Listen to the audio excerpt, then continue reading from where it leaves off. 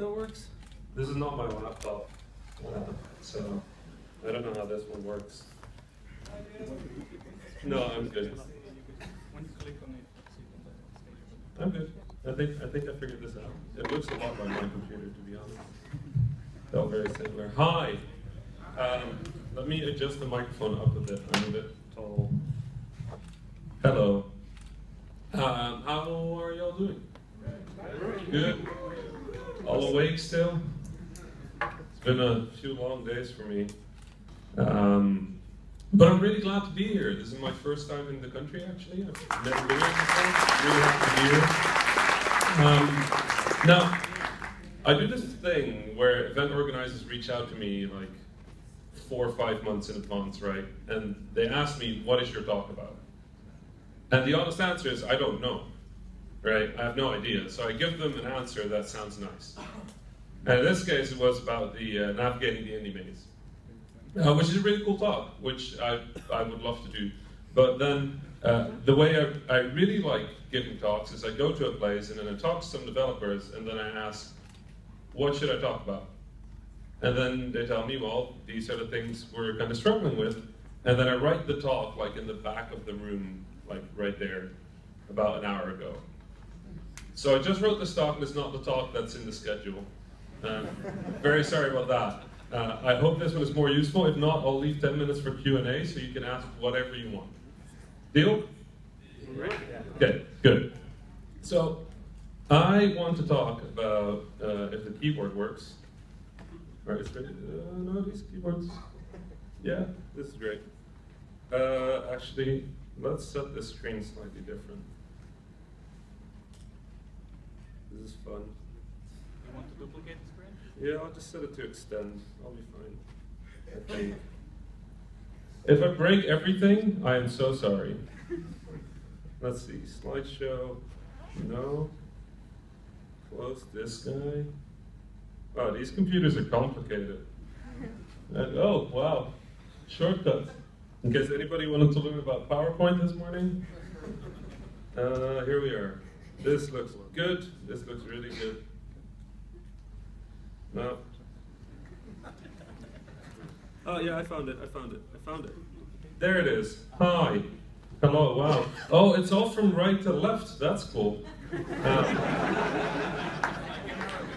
yeah. No, I can. I can deal with this. I'm half Egyptian. I can deal with this. I know how right to left works. Just haven't seen this in a while. Okay. Hi. My name is Rami Ismail. Uh, good morning. I, uh, instead of talking about the maze, I'm going to talk about creative business, artistic entrepreneurship, and other paradoxes. Um, my name is Rami. Uh, I'm one half of the Dutch independent studio named Vlambeer. Um, it, do, should I do the like five minute introduction of who I am and what I do? Is there anybody who wants to hear that? Yeah, yeah I see some people who want to hear that. It's good. So that's me. Uh, like we look alike. Um, I do business, I do marketing, I do development. I'm a programmer, uh, first and foremost. I started programming when I was really, really young. I was six years old. Uh, we had an MS-DOS computer, and the only way we could play a game uh, was there was this game called Gorillas.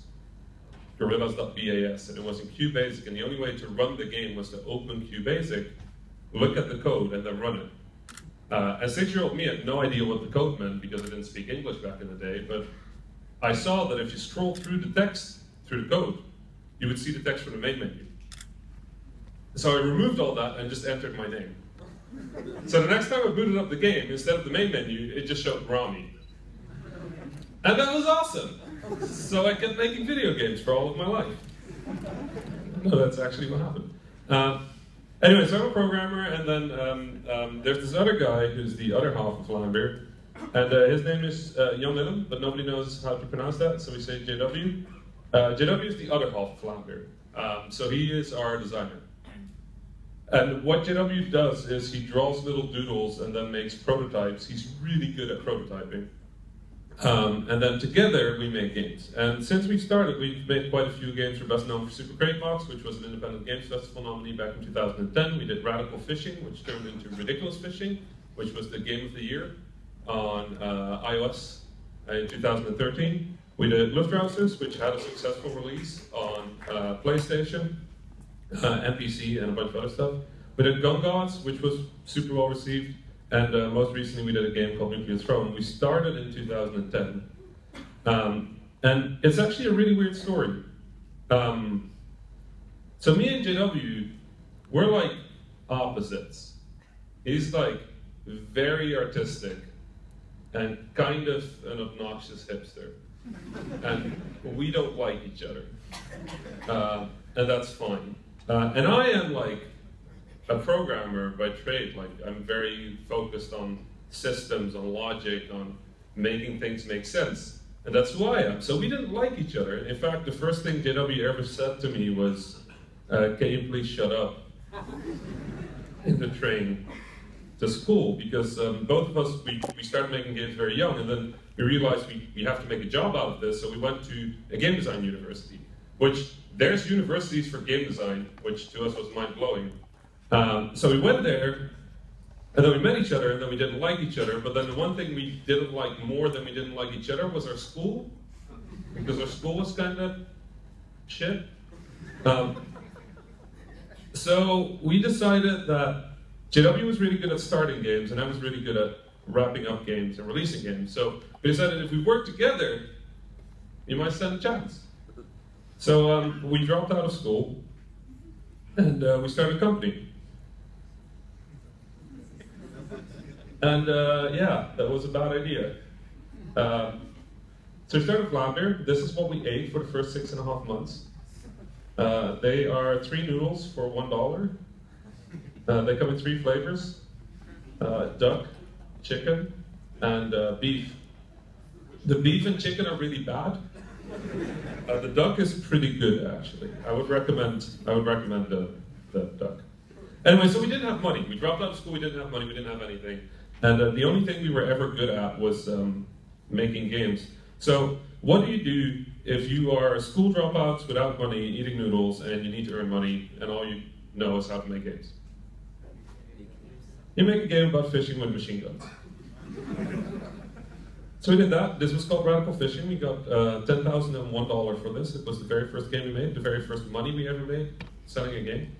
Uh, it was a flash game and it was really well received. And we took those $10,001, turned this really weird prototype that JW made. Uh, it was called like um, Crates from Hell, I think. Uh, he's really bad at naming things.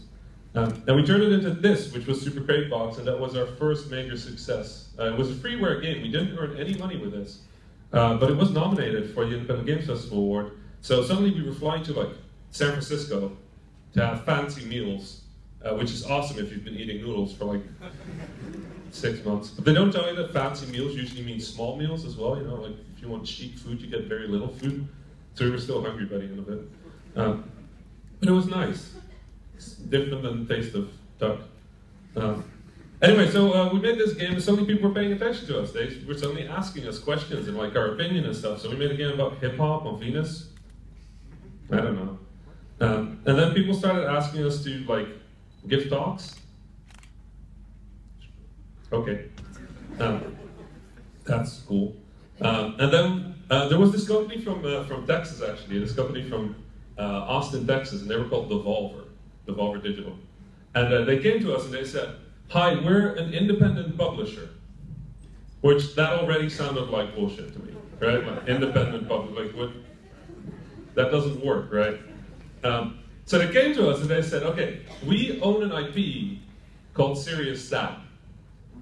And we want you to make a game in Serious Sam. And we were like, okay, you know what? These guys are obviously suits, right? There's business guys. They don't want an original game. They don't want a cool game. What they want is Super Crate Box, our biggest success up to then, with a Serious Sam skin.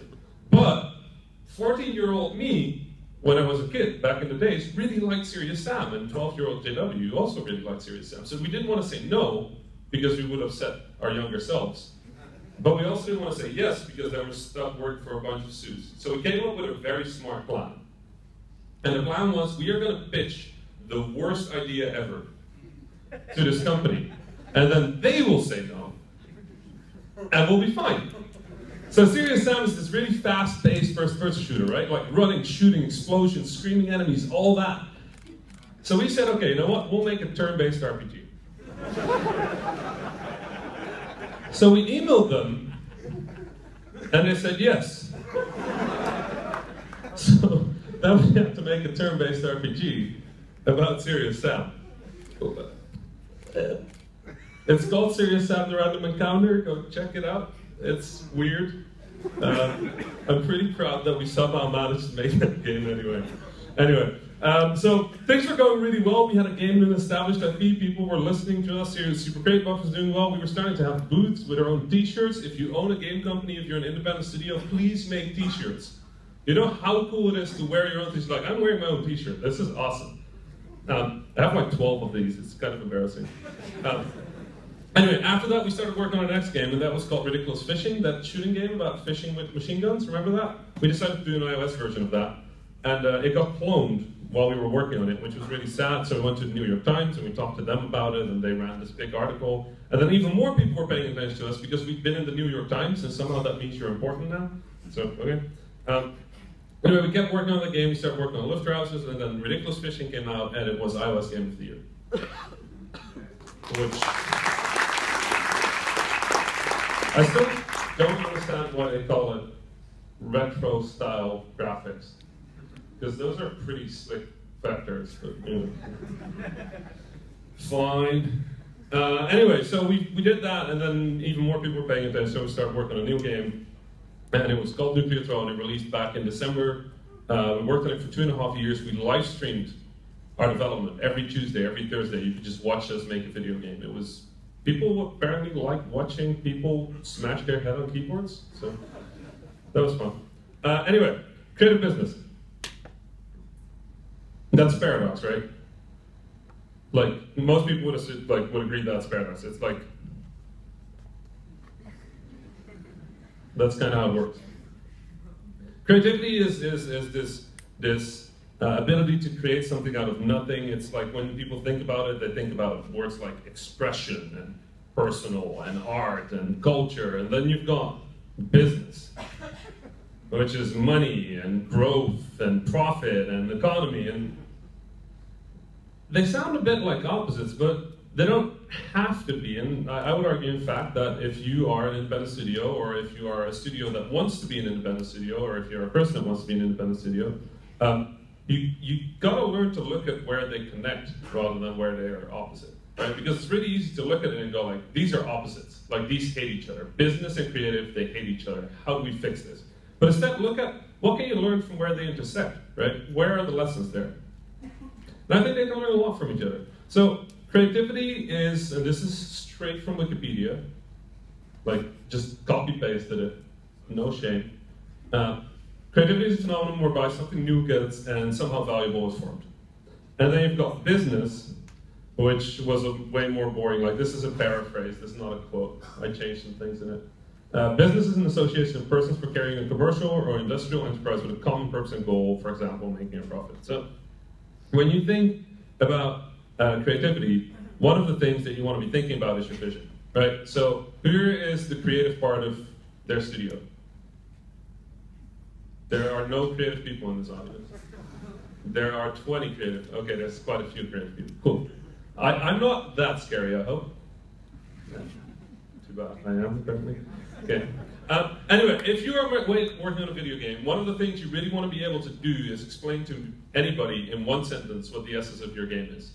And very often when I say that, people think that I'm talking about a pitch. I'm not talking about a pitch. What I'm talking about is an essence statement.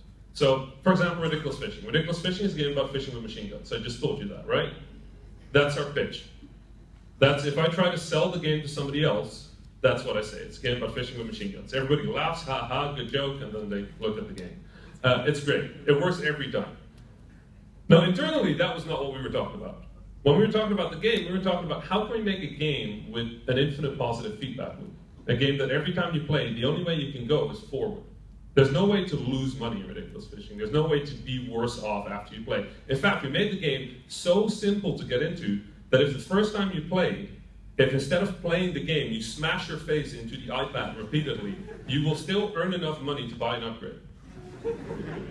That's ridiculous fishing. And inside our studio, that's how we talk about ridiculous fishing. Now, if you're making a game and you don't have that one sentence, what is this game? For us, not for the outside world, for us internally, in the team, you need that statement. You need that essence statement. Because if you don't have that, everybody's working on a different game. You know what happens when everybody works on a different game? It's not a game. It's a fucking mess. So don't do that. Um, when you think about a game, think of it this way. This is your essence statement. It's at the center, right? It's at the core of your game. And then around that is your mechanics. And your mechanics all have to point back at the core. Then around that is your declarative layer. And your declarative layer are your graphics, your audio, feedback, uh, the way people see what's happening in the mechanics. And around that you've got packaging, menus, UI, stuff like that. That core, if you get that wrong, all those arrows back to the middle are going to be pointing in different directions. And people don't know what that means, but they know the game isn't good. That's how you make a bad game. Okay, shit. Go left or right? Left. Yes. Uh, now, for business, very different, right? Instead of uh, just having a vision, a creative vision, a dream, anything like that, you need something measurable. You need something that you can communicate, and that on top of communicating it, you can measure as well. So for Vlambeer, for example, one of our brand goals was to be connected with the world, with the word indie. We wanted people to think about Vlambeer when they think about indie.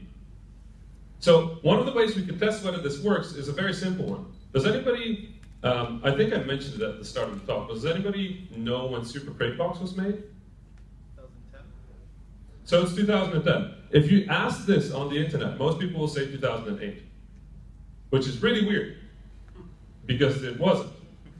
But for most people, the, their idea, their understanding of indie starts in 2008 when Steam kind of started, digital distribution. So when people think about Super Crate Box, they think 2008, which means that it worked. People think of Vlambeer as indie. That was a measurable goal. That was something that we wanted. We wanted people to not know when we started. We wanted them to think of us as always being indie. Now, when you set goals for yourself, try to think in two ways. A lot of people set um, set different types of goals, but the two goals you want to set are small goals and really big goals. The small goals because you can reach them quickly. The big goals because you can work on them for years. Now the middle goals, screw middle goals. Middle goals are ridiculous. Anybody who sets middle goals needs to stop doing it. Middle goals are goals that take too long to quickly do something about and are too short to actually have a meaningful impact. Don't do that. The games industry moves fast. Like in three weeks, everything is going to be different. Like four, think about it. Two months ago, nobody had heard of Pokemon Go. What happened? Well, the industry changed. It happens all the time. Don't do middle goals. So, if you want to do a creative business, the thing between those two is communication. If you want to, if you want to have a clear vision, if you want to have something that you can measure, you need to be able to communicate well. communication is really hard. Like I'm talking to you in words. You know what words are? Really ridiculous. When you think about it, I'm trying to communicate a concept from my head into your head using language. The problem with language is that everybody understands words differently. I do this exercise with students all the time where I say a word and then I ask people in the audience to give me a word back. Like the first word you think of. So if I say the word sun, big ball of lava in the sky, like what, what do you think of? Just give a word. Praise the sun. What? Praise the sun? Hot. Uh, you? Yellow Charmander? You play too much Pokemon Go. Moon. I can do this for everybody, and like three people would have the same word. Everybody else would say something else. That's just the word sun. We all agree what the sun is. Apparently, we don't agree what it means. Now, try communicating about a game that doesn't exist yet. Yeah, good luck with words. Um, communicating something abstract is really, really hard, and um, for as a business, communicating value is really, really hard. Uh, and the way you communicate between those two is a pitch. That's your pitch. It is communicating your creative vision as a value. So who here, who here is working on a game? Who here wants to pitch their game? Wow. You all got really bad pitches if nobody wants to pitch their game. No? What, right now? Yeah. Yeah, you can pitch your game. I mean, you have a full audience of people listening. Anybody? I see one person who really wants to pitch, so. Yeah, go. Um, just making a VR version of the classic Pokemon Go, uh, Pokemon Snap game. Sorry. I'm making a VR version, sorry, of the classic uh, Pokemon Snap game where you have uh, creatures popping up and you have to take a photo of them in the best way possible, angle and pose and all that kind of stuff. It's a Nintendo 64 game that I'm kind of reskinning, obviously not using the Pokemon IP, but uh, yeah, Alright. basically. So uh, um, just uh, thank you so much, by the way. It's super brave that you, super courageous that you do that in front of everybody. Is it okay if I give you some feedback? Is it okay if everybody else gives you some feedback? Who thought that was a good pitch? Just raise your hand. Seriously, if you thought it was a good pitch, raise your hand. Right. So imagine I know nothing about video games. I just think you pitched a VR Nintendo 64 game to me about Pokemon without Pokemon. then um, imagine I'm interested in this game, okay? Imagine I really want this. Somehow I really want Nintendo 64 VR. I'm gonna go home and I have this big bag of money sitting here, right? And I wanna give it to you. What is the name of your game? Ah, I don't have a name yet. I can't Google that. I would really want to email you this bag of money, but I tried Googling Nintendo 64 VR and I couldn't find it. It was really weird. When you do a pitch, you want to make it short, you want to make it snappy, and the most important thing is you want to communicate value. What is the value of my game? What is interesting about it? Why did I make it? Why should I why should I give a shit? What is interesting about it? Right? If you can do that in one to three sentences, you're golden. If it takes more than three sentences, most people get bored. It's the way it is. So, pra- Sorry, can I just say something? I think I communicated the internal. yep, Uh, that was an essence statement. you- yeah, not, Yeah. not actually the pitch. Yeah. If you do an essence statement, please avoid terms like and something like that. That's not a very clear phrase, okay? Uh, when you communicate, think of words as mathematics. Like, the less words you use, the, the stronger your statement is going to be. The less noise you add, the better it is. Use fewer words. Less words is better. Okay, I'm going to have to hurry up. I'm talking too much. Okay, so um, iteration. Everybody knows about iteration, right? Uh, if I say uh, if I say Jesse Schell's model of iteration, you all know what that is. Showing okay, so the basic idea is there's this thing called a loop, right? And the loop is your creative process. It's an idea, and then you implement the idea, and then you test the idea, and then you throw it away or you keep it. You all know that loop, right? That's one iteration. Now, Jesse Schell is a game designer, and he basically claims that the more often you go through that loop, the better your game is. It's that simple. It's not how big your loop is, not how much time you take per loop. It is the more frequent you go through it, the better your game is. So what he's arguing is test very small things and test them very rapidly, test them very fast. If you're making a game, start prototyping day one, start testing day two, right? Now, in creative work, the way you learn is through failing. It's through taking a risk, seeing if it works, and then if it works, keep it. If it doesn't, throw it out. And in most cases, if you're creative, 99% of what you do is going to suck. It's the way it is. I, at Vlambeer, we have a folder with 120 games, and they're all horrible. One of them is called Super Astronaut Ninja. It is a square on a screen, and then we realized that we were making a game because the title sounded cool instead of the game was cool. So we were like, yeah, never mind. Um, so we feel fast. We were like, oh, don't make that. Um, now, in business, you want to do kind of the opposite. You don't want to iterate too much. You want to find something that you can repeat. You succeed, and then you figure out why did that succeed, and then you do that again. That's the safest way to do business. Do it again, do it better, do it bigger, improve. No research and development if you can. The less research and development, the less risk there is. Um, and that's kind of weird. Um, but it is the way you do good business. The thing is, what you want to find is not necessarily something you can repeat over and over. You want to figure out why people attach to the previous thing. So for Vlambeer, what we realized really quickly is people like our style of humor. People like our style of irre- like irreverent games, uh, but they also like how tight our game design is. So that's what we do. The fun thing is because we just make games that we want to make. That's who we are. So we don't have to fake to be a business. We're just us, and our fans like us. nice. Now, as a creative business, uh, what is very important is understanding your responsibility. So who, who here works in more than is more than one person in a studio? Okay. Who's the producer? Who here works in a studio without a producer? Who here can tell me what the job of a producer is? Nobody knows what a producer is. It's really weird. Uh, no, the thing is, a producer is the person who keeps your game on, on budget, on schedule. You know, they make sure the game works. Uh, it, like the game releases and goes at some point. Uh, the funny thing is, everybody has a different definition of producer. The important thing is, whatever it is in your studio, you all need to agree on it, and you all need to be okay with that. So at Vlambeer, there's two people. I, uh, JW does the design. He's responsible for the game design. I'm responsible for everything else. Right? Now here's the way it works. JW will come up with a design. Once uh, Luftrausers, we were making a game called Luftrausers. It was an airplane game, and I wanted clouds in the background so we could see how fast the airplanes moved. So we put clouds in the background, and JW wanted these really cool Chinese water painting clouds. They look like this, you know? And I wanted clouds that look like fucking clouds, because they're clouds. So put clouds there already, right? We fought over this for three days. Three days. On day one, we fought. On day two, we got to the office, we saw each other, we both went back home because we really didn't want to deal with this one more day. Then on the third day, I told JW, the Chinese water painting clouds, they look like wind. So it looks like it should move the airplane. They went, okay, clouds. So we have clouds. Now the funny thing is, if that turned out to be a bad decision, you know whose fault that is? His. He's the designer. If I had a bad idea, he should have told me and stopped me. That's his job. That's literally his responsibility. Now for the business, if I listen to JW, and JW's business ideas are usually something along the lines of let's give away the game for free.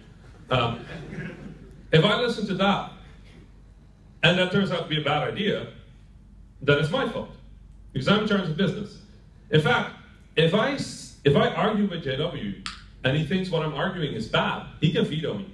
He can just go, Rami, no, end of conversation. We don't talk about it again. I, I trust him as a designer. He trusts me as whatever my job is, everything else. Um, the point is that clear hierarchy allows us to make good choices.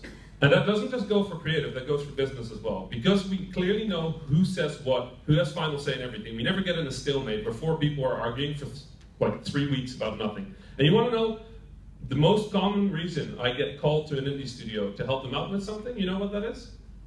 They just released a game, they're starting on the new game, they can't reach an agreement about the new game. And studios die over that.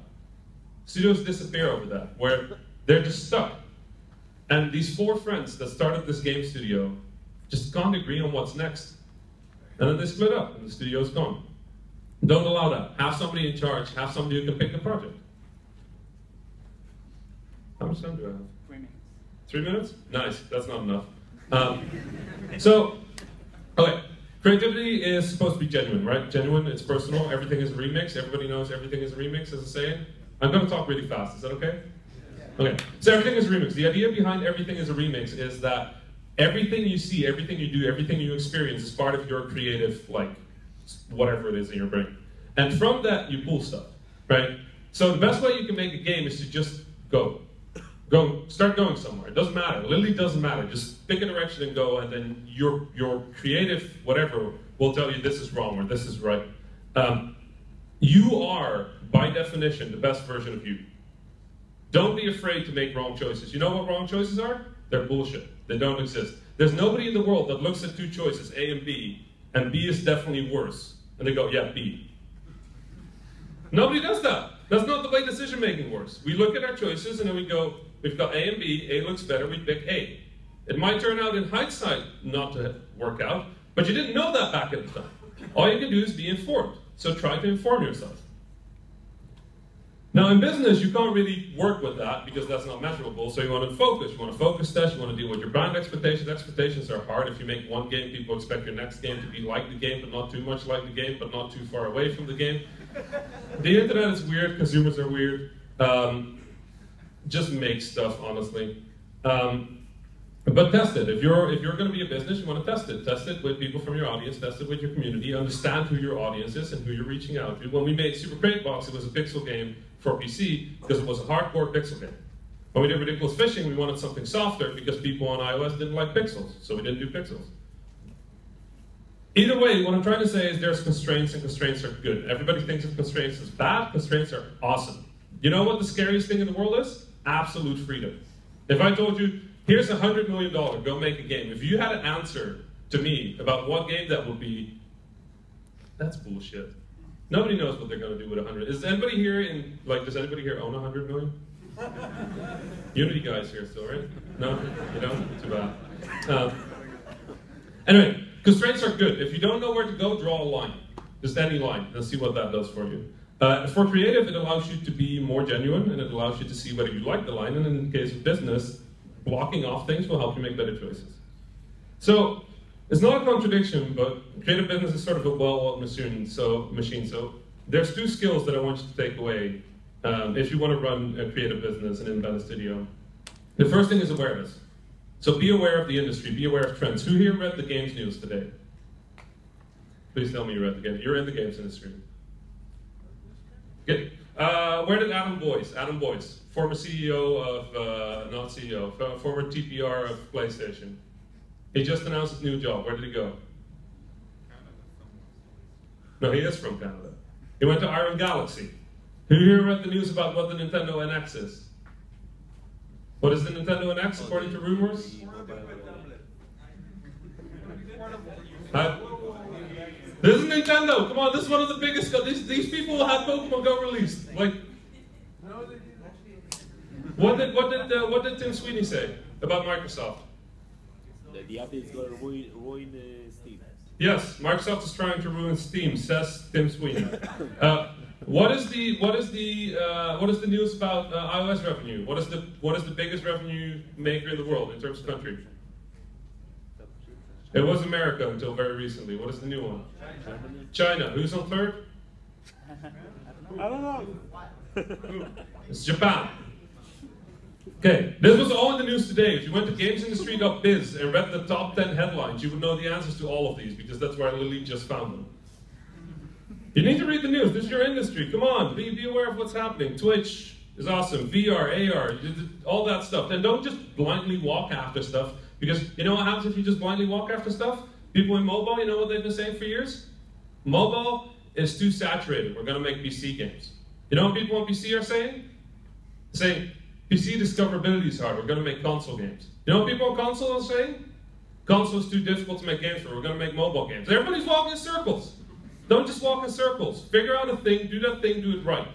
Figure out a spot in the industry, read the news, figure out where the trends are, go from there.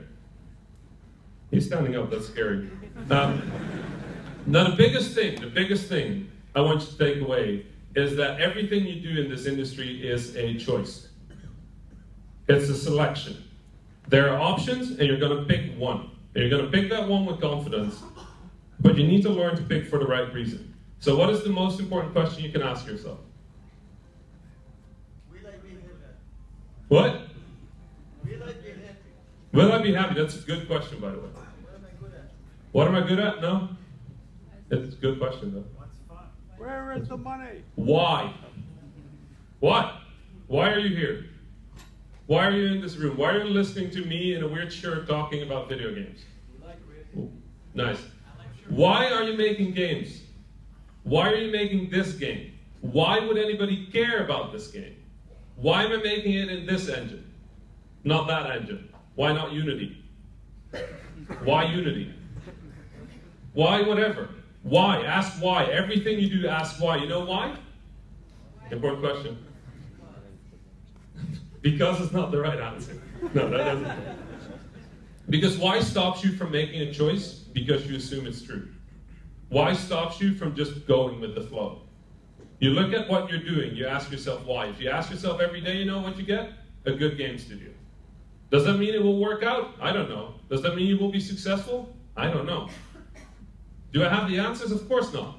But can I tell you one thing? Yes, if you ask yourself why, if you make your choices, if you select carefully, you have a shot at making independent games. Questions? Just one For me? Just one question. We question. go to one question. If I talk really fast, can I do two? Give it a shot. Okay, let's go. anyone, Anyone over there? Just go ahead. Um, how would you advise someone who has published a game and it was somewhat successful to identify what is the component who made it successful? So you're asking if you made a successful game, how do you identify what the success was? Yes. Well, I mean, the thing, the thing, the one thing you can see is what people are saying about the game, right? You have access to the feedback, you've access potentially to the stats about the game, uh, but what you want to look at is the, the state of the industry, what you were doing, and then figure out what the core values were of that game that people attach to. So, do you know your asset statement? Do you have that one sentence thing about that game, about your successful game? No? You want to figure that out. What was it that made that game tick? And then there could be an infinite number of variables, right? The right time, the right place, the right platform, uh, right theme. If you made something with Pokemon, it's going to be real big right now. Uh, if you made something with location-based gaming, could be real big right now. Does that mean it will work again next week? Probably not. Uh, but the thing is, don't overthink that. Start fi- like figure out the voice. What is your voice? What was the voice you had in that game, and then go from there. Hey, uh, how do you find good teammates? I mean, you got lucky. Uh, How do you find good teammates if you don't? If you're not lucky. That's an interesting word. It works. Uh, yeah, it works. Uh, so the best way, honestly, that I found to find teammates, so everybody outside of JW that we work with, we find through game jams. Always game jams. Because game jams are like high stress environments where people have to rapidly deliver good work. And if people can operate well within a game jam, within like 48 hours of making games, then we want to talk to them. Uh, and then if we talk to them, honestly, what we do is we sit them down and we talk to them for like three hours. And if they have like the same vibe as we have, if they have the same um, vision that we have for the game, then we hire them. Okay, thank you very much. Thanks. Unfortunately, we don't have time for any more questions, but you can feel free to find John after the very brain time. Thank you, thank you very much. And so I